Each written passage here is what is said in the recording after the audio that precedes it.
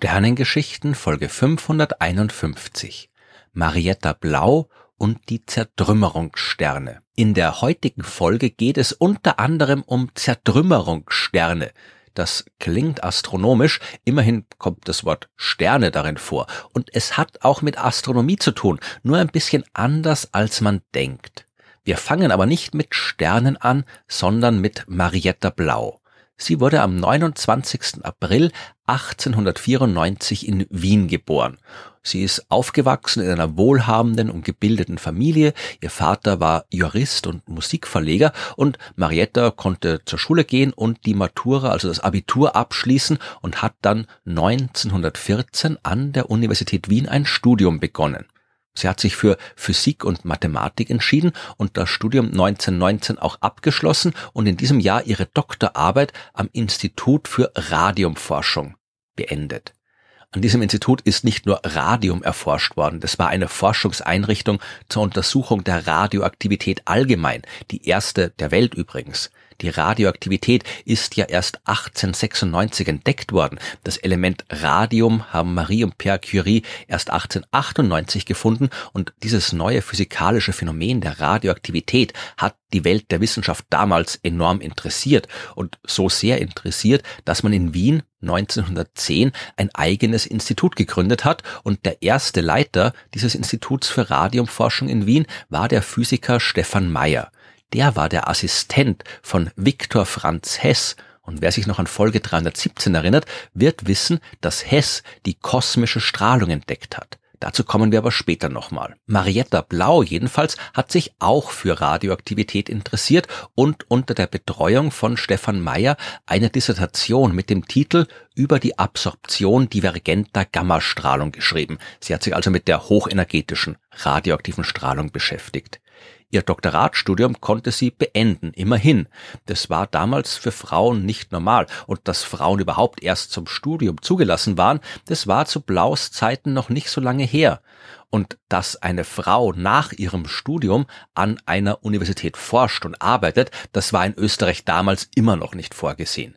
Blau konnte also keine akademische Laufbahn einschlagen und ist deswegen nach Berlin gegangen, um dort in einer Fabrik für Röntgenröhren zu arbeiten.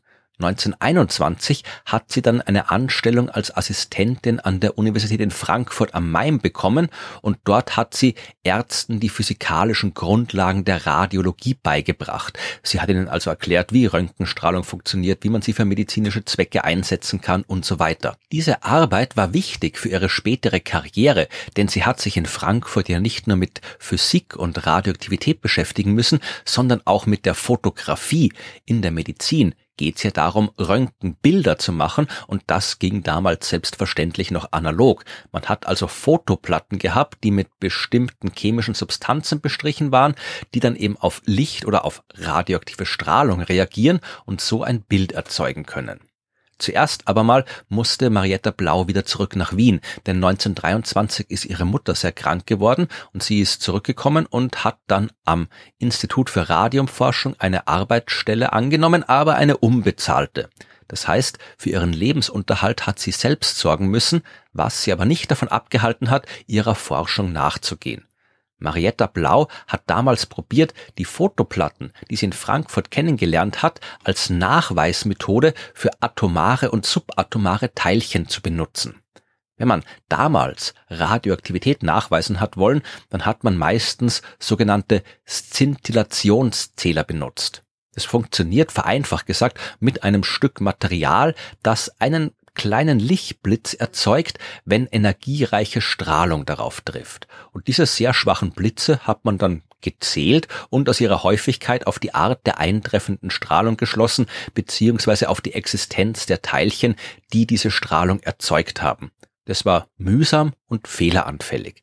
Eine andere Methode ist die Nebelkammer, von der ich in Folge 510 ausführlich erzählt habe.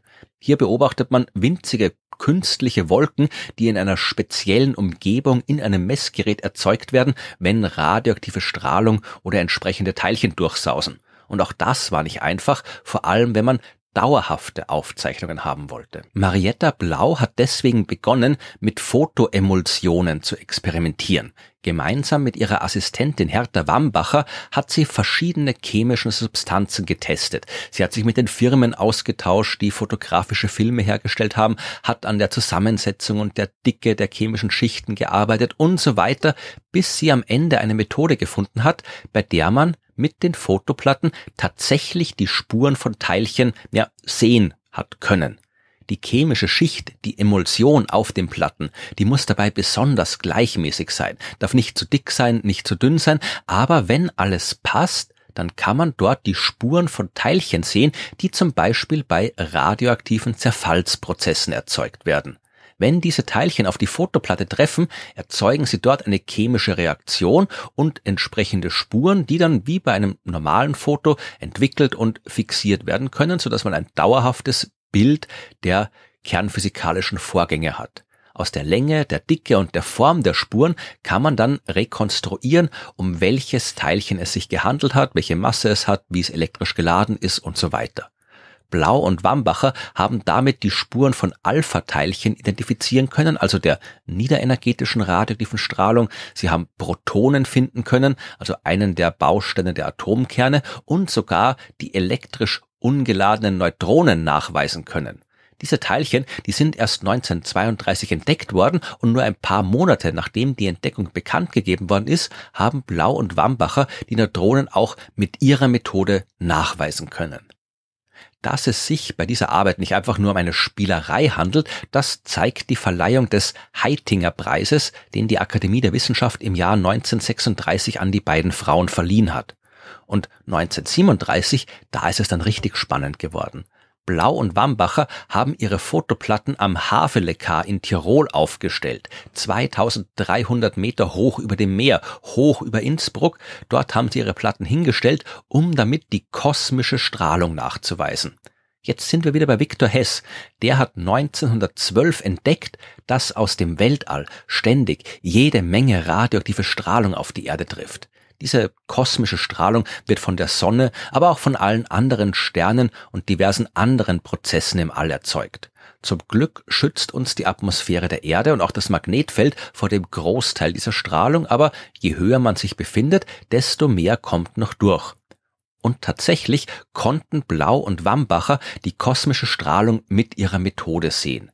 Sie haben Zertrümmerungssterne entdeckt, also Spuren auf ihren Platten, bei der von einem Punkt sternförmig jede Menge Linien ausgehen.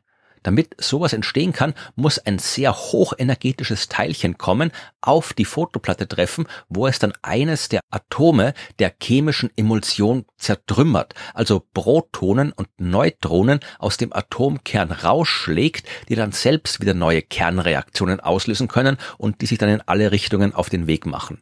So kriegt man die sternförmigen Spuren auf den Fotoplatten und der Zertrümmerungsstern war ein Beleg für die durch die kosmische Strahlung ausgelösten Kernreaktionen, für das, was man heute mit dem Fachbegriff Spallation bezeichnet. Die Spallation durch kosmische Strahlung, die ist ein spannender und wichtiger Prozess. Sie ist zum Beispiel der einzige Weg, wie das chemische Element Bohr entstehen kann. Durch Kernfusion, also die Verschmelzung von kleineren Atomkernen zu größeren, wie es in Sternen vorkommt, oder durch die Kernspaltung größerer Kerne in kleinere, geht das nicht. Dafür hat Bohr nicht die passende Anzahl an Protonen im Kern. Aber wenn kosmische Strahlung auf die richtigen Materialien trifft, kann sie genau die richtigen Atomkernbausteine raushauen, damit am Ende Bohratome übrig bleiben. Bohr ist ein wichtiges Element für uns Menschen. Wir brauchen es für unsere Knochen und für die Funktion des Gehirns. Wir brauchen nicht viel, aber wenn es nicht da ist, dann fehlt's uns. Und der Prozess, der dieses Element erzeugt, ist genau der, den Blau und ihre Assistentin Wambacher nachweisen konnten. Mit diesen Forschungsergebnissen wäre es normalerweise kein Problem gewesen, eine Professur und eine fixe Stelle an einer Universität zu bekommen aber nicht im Jahr 1937, nicht in Österreich und nicht, wenn man eine Frau ist und noch dazu aus einer jüdischen Familie kommt. Blau und Wambacher haben noch den Liebenpreis der Akademie der Wissenschaften verliehen bekommen und ein Jahr später musste Blau das Land verlassen. Wambacher übrigens konnte bleiben. Sie war keine Jüdin und hat sich mit den Nationalsozialisten arrangiert. Nach einem kurzen Zwischenstopp in Oslo ist Blau dann in Mexiko gelandet, wo sie durch Vermittlung von Albert Einstein einen Job als Lehrerin an einer höheren Schule für Ingenieure bekommen hat. Nebenbei hat sie noch ein bisschen geforscht, hat sich selbst Messgeräte gebastelt und so weiter, hat dann aber die erste Gelegenheit genutzt, um in die USA zu übersiedeln. 1944 hat sie dort einen Job in der Wirtschaft bekommen und später dann endlich wieder eine wissenschaftliche Stelle an der Columbia University in New York. Ab 1948 hat sie sich dort mit der Datenauswertung von Teilchenbeschleunigern beschäftigt und ist 1950 auch amerikanische Staatsbürgerin geworden. 1950 ist auch der Nobelpreis für Physik verliehen worden, und zwar für die Entwicklung der fotografischen Methode zur Untersuchung von nuklearen Prozessen. Allerdings nicht an Marietta Blau, sondern an den britischen Physiker Cecil Powell.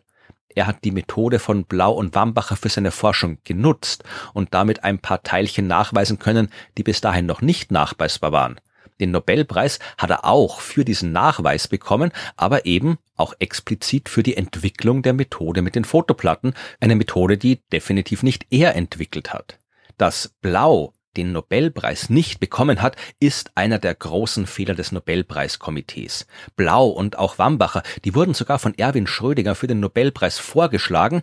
Der Preis ist aber trotzdem nur an Cecil Powell verliehen worden und der hat sogar geschafft, in seiner Nobelpreisrede kein einziges Mal den Namen von Marietta Blau zu erwähnen. Marietta Blau hat dann 1956 eine Stelle als Professorin an der Uni von Miami bekommen, ist dann aber 1960 doch nach Österreich zurückgekommen nicht ganz freiwillig, denn Blau ist leider schwer krank geworden, hat Probleme mit den Augen bekommen und hat eigentlich dringend eine Operation benötigt, aber mit dem bisschen Geld, das sie in den USA verdient hat und den hohen Kosten, die dort für medizinische Behandlungen geherrscht haben, hat sie sich das nicht leisten können. In Österreich war sie auch nicht versichert, aber da war zumindestens die medizinischen Behandlungen billiger und deswegen ist sie zurückgekommen und hat gehofft, dort dann die entsprechenden Operationen zu bekommen, die sie benötigt benötigt hatte, um weiter arbeiten zu können. Zurück in Österreich hat Blau wieder am Institut für Radiumforschung gearbeitet. Sie hat dort eine Arbeitsgruppe geleitet,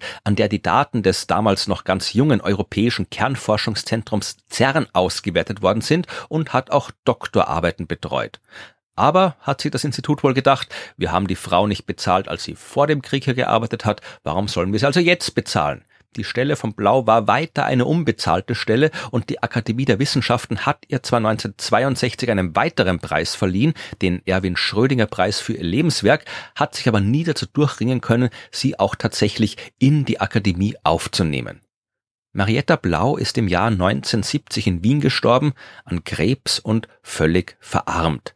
Keine wissenschaftliche Zeitschrift hat es damals für notwendig gehalten, einen Nachruf auf sie zu verfassen und selbst heute ist ihr Name nicht so bekannt, wie er sein sollte. Noch im Jahr 2012 ist anlässlich des 100. Jubiläums der Entdeckung der kosmischen Strahlung eine lange Arbeit erschienen, in der die Entwicklung der entsprechenden Forschung von damals bis heute dargestellt worden ist, allerdings ebenfalls unter kompletter Auslassung der Beiträge von Marietta Blau und Hertha Wambacher. Immerhin, im Jahr 2004 hat die Stadt Wien eine Straße nach ihr benannt. In ihrer ehemaligen Schule hängt eine Gedenktafel und ein Hörsaal der Uni Wien trägt ihren Namen. Aber angesichts dessen, was sie in der Wissenschaft und für die Wissenschaft geleistet hat, ist das ohne jeden Zweifel viel zu wenig.